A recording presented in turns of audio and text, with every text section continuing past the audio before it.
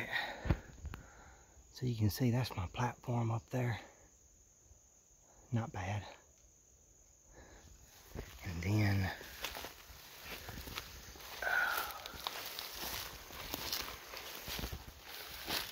I think this is the tree over here.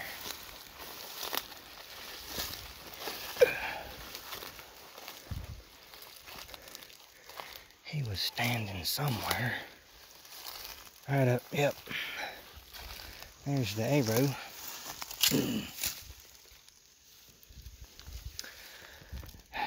People talk about heavy arrows. That's a little 23 inch victory with a Swhacker on it. Twizzlers and flappers. But they sure do get the job done now, don't they? Imagine that. Because that's my arrow. you can see he never had a chance with me tucked up in the trees over there.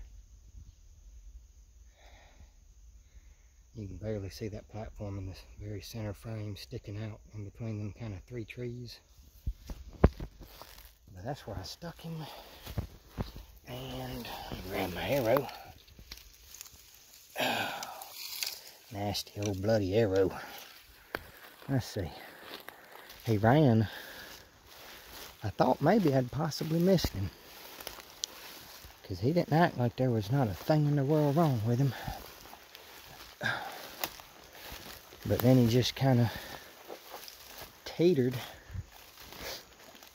There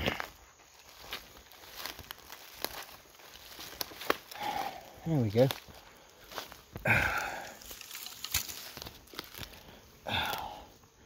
Nothing fancy.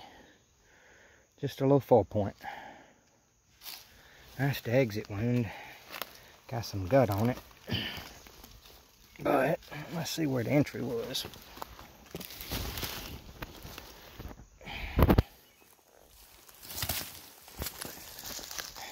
Yep. Not bad. He was quartering pretty hard. But yeah, he didn't run uh